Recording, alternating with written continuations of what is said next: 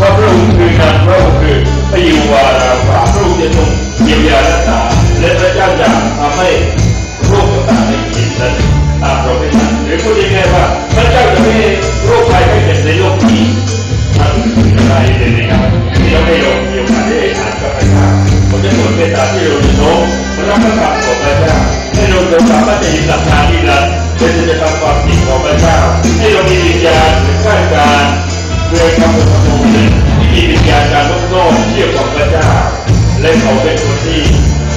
เนินชีวิตอยู่ภายใต้สิทธิอำนาจของพระเจ้าข้าแต่พระเจ้าพระองค์อธิษฐานขอทุกทีผมจะโปรดเมตตาให้ทุกคนในนี้ทุกคนที่อยู่ภายใต้สิทธิอำนาจของพระเจ้าผมไม่ต้องให้เขามีลักษณะชีวิตที่สามารถเรียนรู้ผมไม่ต้องจากข้าราชการเมืองทำเป็นระบบนั้นที่เขาเป็นวิญญาณการข้างโรจนอกเชี่ยวชาญอยู่ภายใต้สิทธิอำนาจข้าแต่พระเจ้าผมได้ทรงเมตตาพระปรารถนาวิญญาณการข้างโรจนอกการเชี่ยวชาญแค่นี้